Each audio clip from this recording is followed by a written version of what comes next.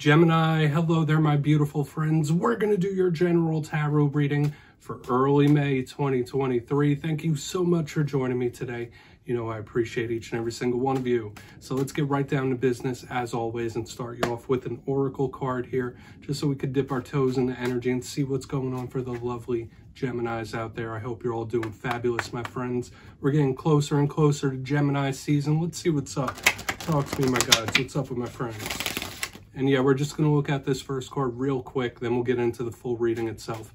And at the very end, I'll pull you a bonus card from the Shadowland Tarot, just to see what might be in the shadows or what shadow work you can lean in on, which is always interesting. But let's get it going here. Let's rock. What do we got for Gemini, my guides? Please. Okay, that card popped out on the very first shuffle. All right, some of you might need to have a little bit of fun, or you might be having a little bit too much fun. It all depends on what you're going through here, but that card always signifies that to me. And there's some other layers, there's some other wrinkles with that card. Now, before we fully get into that, if you're new here, I'll be speaking about the May subscriber surprise towards the end, so you might want to check that out. Also, if you could kindly illuminate that like button by tapping it right on its third eye, you know I'd greatly appreciate it. But enough of the promo, into the reading, have a look at this card. So the imagery is very interesting. We have this snow globe, we have various different toys, this pony or unicorn, whatever it might be. And when I see this card, it generally speaks about someone who might be a little high strung, right? Things might be a little more serious now than they usually are. You might need to cut loose. Whatever fun is for you, whether it's chilling inside, eating some good food, watching Netflix, or going out dancing, partying, whatever it might be, you might need to cut loose. Maybe you want to go out and walk in nature, right? Do some hiking, do some crystal collecting, whatever it might be. This is Spirit asking you to make some time for yourself. It's very healthy to make time for yourself and have a little bit of fun every now and then, cut loose. Now, for another small portion of you, maybe you've been partying it up a little too much when this card shows up, right? And Spirit could be asking you to pump the brakes, but obviously it's for whoever needs it, right? Let's get you into tarot. And I always say with that first card, it doesn't make or break the reading. It's just a little footnote. But yeah, I'm going to get you three tarot cards in the upright before we get the intuitive juiciness flowing. Let's go. Shuffle it up here. What do we got for Gemini, please? Guides and Spirit Team.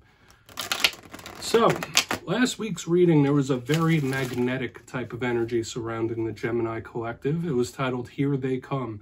I almost titled it Here It Comes because it felt to me like there was either someone or something moving towards the Gemini collective very fast and magnetically. But as you know, energy is very fluid. It's never set in stone, so only take this how it hits for you. Those energies can leak through from week to week as well but we might be seeing your vibe or someone you're connected to. It's always important to remember that. I'm sure you know that already, though. Let's get you three. What do we got for Gemini, please? Early May. All right, we got the King of Wands, very fiery, entrepreneurial type of energy, controlling something, right? Can trying to get a, I don't want to say get a grip on something, but make sure everything's in order. Let's get you two more. Kings do represent control of their suit, and that's a very fiery one. Okay, yeah, action. So we do have the fire-air combination showing up. We got two people as well. Yeah, we're going to have to talk about this, Gemini. This is going to be an interesting spread for sure. Let's get you one more. That is one of the fastest moving cards in the deck. So talk about the magnetic type of energy. It's here. Full stop. Okay, so something might have come to a full halt or a full stop when we see this. Okay, this is a very intriguing mixture of energy we got happening here this week, my friends.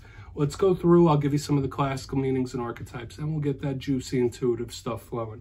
Now, at first glance, when I look at this spread, elementally, we have two swords cards, which are of thought and communication, the mind, and we have fire. I always say when we mix fire and air, kaboom, it's combustible. Now, that could be very good for forward movement, forward momentum, but it could also be a little out of hand. Okay, and it's interesting how this plays, two possible individuals showing up as well. But position number one, we got the King of Wands. You might be connected to a fire sign here, so Aries, Leo, Sag. When I see the King of Wands, like I mentioned a little earlier, kings represent control of their respective suit. Wands is that fiery, burning energy within us, right? Our motivation, our passions, you know, what makes us feel red hot on the inside, whether it's another person or something we're interested in. So when we see this King of Wands, it's all about where we're focusing our energy. Are we focused on the right things? Is our focus straying a little bit? Or are we just trying to keep things under wraps for whatever reason, right? Because with this fire and air, there could be some volatile things that you could just be trying to get a hold over. Okay, so we're gonna have to revisit that like if it doesn't represent a person you're connected to. Now, moving forward through the reading, we have a very intriguing energy right in the center. We have the Knight of Swords. Look at it rushing directly towards this King of Wands. Now, since this is an air sign reading, in my simplistic style, the Knight of Wands, or the Knight of Swords, pardon me, could represent a way you might be feeling when we clarify it, or something that's coming towards you, which we've been seeing for a couple of weeks. Knight of Swords, one of the fastest moving cards in the whole entire deck. Okay, we see him there, he's in full flight. The positives of this, it's a lot, it's gaining a lot of ground. Forward movement, forward action, forward momentum in a very, very fast way. Knights can also be messengers sometimes like a page, but this one has a sense of urgency to it when we see the Knight of Swords. In its challenging end, the Knight of Swords could be a little confrontational. So we do have to watch out for that, like issues and situations, confrontations, whenever he shows up here. But it is in full flight. It's moving towards that entrepreneurial King of Wands we got there. So we're really going to want to dive deeper on all this. Now, moving to the very back end, we have a little bit more of this air energy. Remember how I was saying with that very first Oracle card, you need to look after yourself. Okay, whether it's having fun, staying in, whatever it might be, the Four of Swords is the card of staying in, right? Taking a break, taking a rest. So we go from this fiery mixture right here in the beginning to a full stop type of energy, okay? This card could represent sleep, so hopefully you're not having issues in the night, issues sleeping, dreams and such. It's a card that could represent spirituality, meditation, things like that. The Four of Swords to me is generally a soothing, soft type of energy. But with all this, like it's a little jarring on the back end. So there could be various things that you are putting a stop to, or that could be coming to a close with the way this is flowing. But this is also a big card of self care, right? If you're feeling 10 of Wands like the Four of Swords is taking time to recuperate, regenerate, heal. So with all that being said, I want to dive deeper, Gemini. Let's jump in and clarify. All right, let's get a good shuffle here for my Geminis. Interesting spread this week. I mean, your spreads are always interesting. Let's get a good shuffle. And yes, my friends, this is where I go intuitive with the message, which means I just tell you how it feels to me. So feel free to do further research or rely on your base knowledge of tarot. Because as you know, every single reading is about the reader's interpretation, and I'm just giving you mine. Let's see what's up with that King of Wands, right? And yes, if you're a reader yourself, please feel free to play along. That's why the box is here. If you're feeling any messages that you want to give to Gemini, you could drop it in the comments. I don't mind at all. All right, King of Wands. What's this all about? What is that King of Wands here? Thank you. Okay, yeah, more air, which is an element you're usually mixed in. All right, yeah, this is someone really trying to keep it together.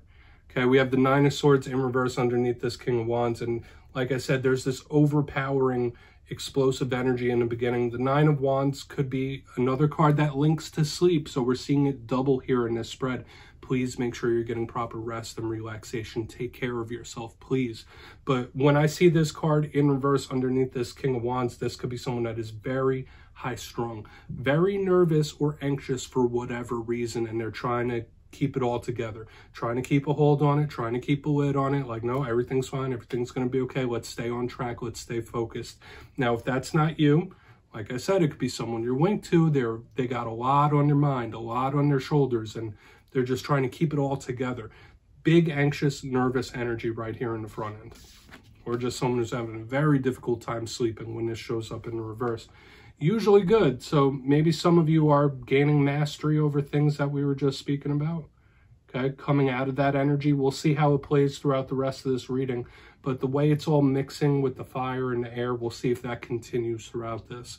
But I am getting the vibe of somebody trying to control the mind, control the thought process, and keep the lid on something, whether it's nerves or anxiety.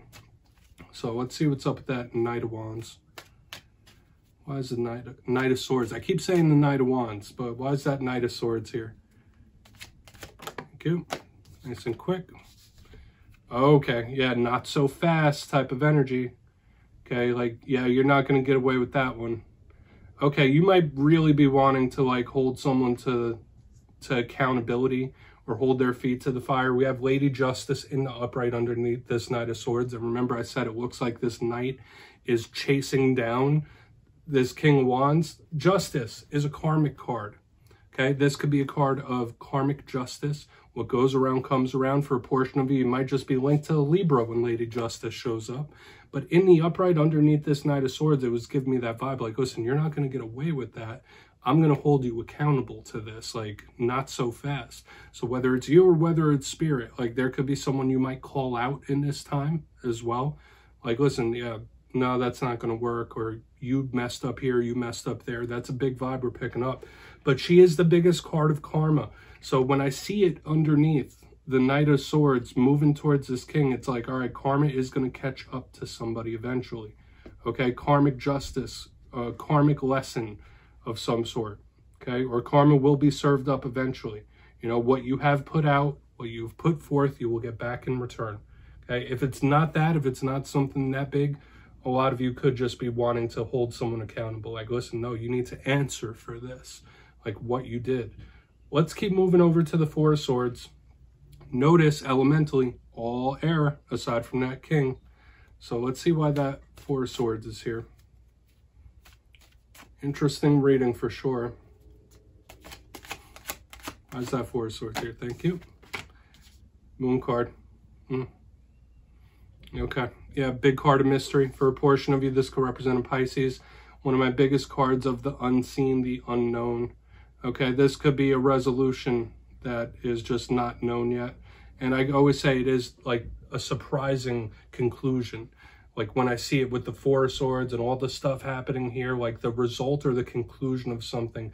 You don't quite see it just yet. You might not see all the moving pieces, but it's going to happen one way or another okay? And I'm not getting a completely negative vibe or challenging vibe here, but that's just, I've felt it since the beginning. This hectic energy here, then the stoppage on the back.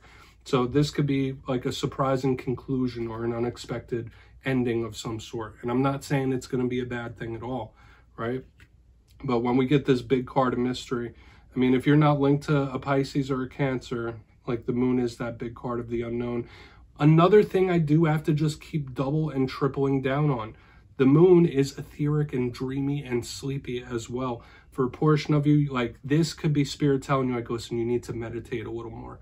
Like you really should speak to your inner self, your inner voice. Like that's a big thing. So if you are going through hectic things or you're anxious or you're trying to get this under control, spirit could be saying right here on the back end with the four swords and the moon, speak to your inner self, speak to your inner voice cut, a, cut some time for meditation because that could be very beneficial for you. Let's go through and do a quick recap. I don't want to ramble on too much, my friends. If you kindly look in the box before we get in the shadow card, interesting play of energy from front to back. We have major arcana, we have court cards, we have a little bit of everything happening. But position number one, we have the King of Wands with the Nine of Swords in reverse.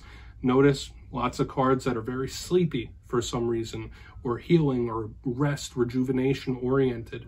But this to me in the front did feel like this could be someone who was extremely high strung, nervous, or anxious, and they're just trying to keep a lid on it. They're trying to keep everything under control and stay focused for whatever reason. Now, this could be that energy alleviating. However, as we press forward through the reading, we have the Knight of Swords with Lady Justice in the upright. It looks like they're chasing this person down. Not so fast, you're not going to get away with this. Whether you want to hold somebody accountable or just tell them what they've done or where they went wrong or what, you know, just hold them accountable. That's the best way I could put it. Another vibe I was picking here is like karma catching up to somebody, okay? Whether it's karmic justice, karmic dose, there is this big warning here of someone getting served up what they've put out and, and they're going to get it back in return. On the back end, we have the Four of Swords with the Moon card in the upright. Since there is such a big focus on sleep and rest and rejuvenation, this could be Spirit asking you to speak to your inner self, your inner voice, do a little med meditating and calm the mind. But this did also feel like a surprising or unexpected co conclusion or ending when I had that on the back end. So please take a screenshot. I'm going to get you one shadow card here real quick just so we can see what's in the shadows. Interesting spread. And notice there's a ton of air energy, which is all mental, conversational. Let's see what we have in the shadows for you, my friends. I'm using the Shadowland Tarot, which is an awesome deck for doing shadow work. It's one of my favorites. Okay, whether it's something within yourself or something you don't quite see, like that moon there. What do we got? Real quick, what's in the shadows for Gemini, please?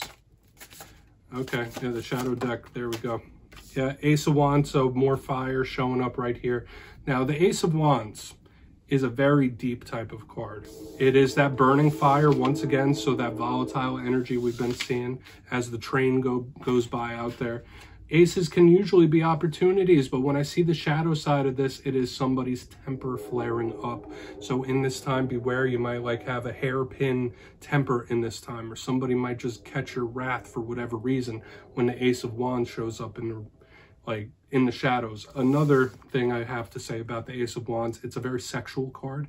It's a card that focuses around the libido. So Spirit might be asking you to shine a light on that. Maybe you're a little wound up for whatever reason. I'm, I'm not judging, but I just always have to mention with the Ace of Wands, it's a very sexual card for whatever reason, and it's there. But yes, Gemini, that's what I have for you this week, my friends. Don't click away just yet, though. I'm going to give you the details of the May subscriber surprise. For the May subscriber surprise, I'm giving away two boxes of the beautiful Tarot of the Owls. This is an awesome deck. So if you'd like to get your name in for this, it's two simple things. As always, my friends, first, you must be subscribed, which I'm sure you already are. And second, let me know down in the comments, out of all the cards in this week's reading, which one spoke to you the most. You'll be entered to win, and at the end of the month, I will announce the winners in my community tab at random as always.